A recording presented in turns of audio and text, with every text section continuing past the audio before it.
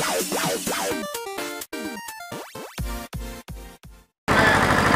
नमस्कार दोस्तों हम लगातार महिलाओं से बातचीत कर रहे हैं जान रहे हैं आखिर क्या कारण है क्या वजह है इनकी आज भी डेरा सच्चा सौदा से जुड़े होने की आज भी डेरा में आने की। नमस्कार मैम आपका नाम?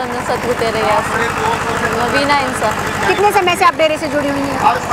हम थर्ड क्लास में तब से मैम आप इतने लंबे समय से डेरे से जुड़ी हुई हैं और आज भी आप डेरे में आ रही हैं तो आपको क्या लगता है कि आपका यहाँ से जुड़े रहना सही है? हमें तो सही लगता है हमें तो सतगु पे पूरा भरोसा है। अगर बात की जाए सुरक्षा को लेकर तो किस तरह की सुरक्षा यहाँ आपको दी जाती है। हमें तो बहुत अच्छी सुरक्षा दी बहनों को अलग सेवा दी जाती है भाइयों को अलग तरफ़ से जाते हैं। और बहनों के लिए हर अलग इंतज़ाम है बहन भाइयों के लिए अलग इंतज़ाम है। सब कुछ अलग अलग है। ये तो डरने वाली कोई बात नहीं है अभी ऐसे। जो पहले लड़के भी आए तो उधर कोई डर की बात नहीं है। आपका कहना है कि डेरे के अंदर आपको बहुत ही अच्छी सुविधा दी जाती है लेकिन बाहर लोगों का कुछ और ही कहना है तो आप क्या कहना चाहते हैं? वो जैसे जिसकी सोच होती है वो वैसे ही कहेगा अच्छाई को देख के कोई ये तो नहीं कहता भी हाँ भी अच्छाई है बुरी बात पे हर कोई जल्दी यकीन कर लेता है।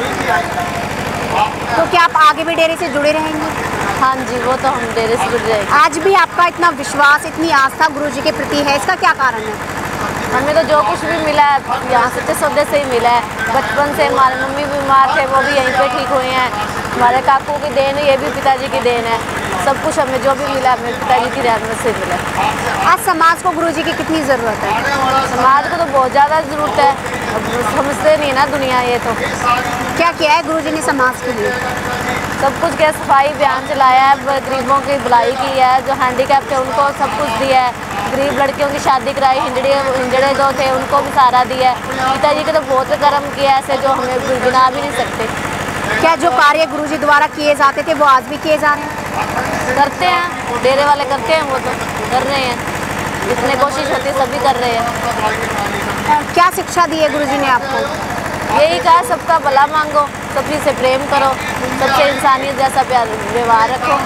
बड़ों को अपने माता पिता और छोटों को बच्चों के समान और अपने समान भाई बहन की तरह समझो। काफ़ी आरोप गुरु जी के ऊपर लगे हैं। इनके बारे में आप क्या क्या कहना है? हमें तो कुछ भी नहीं इस पर यकीन हमें तो पिताजी में पूरा विश्वास है। हमें तो अपने सतगुरु पर पूरा विश्वास है। चाहे दुनिया कुछ भी कह दे हम तो सच्चे सौदे के आने कभी नहीं रुकते। आप अपने वीडियो के माध्यम से क्या संदेश लोगों को देना चाहते हो? यही कहेंगे भी सतगुरु पर यकीन रखो भी बुरी आप बातों पे ध्यान मत दो। जो चलता है संसार में अच्छा बुरे का देखो भी क्या आप अपना अपना अपनी सोच से देखो किसी की तरफ़ मत कहने पे चलो। जो अपने को दिखता है, वही देखो, अपने कानों, आँखों पे देखते हैं विश्वास। सरकार से क्या अपील करोगे आप? सरकार से तो यही कहेंगे, हमारे सतगुर आए हमारे बीच। बस यही अरदास है।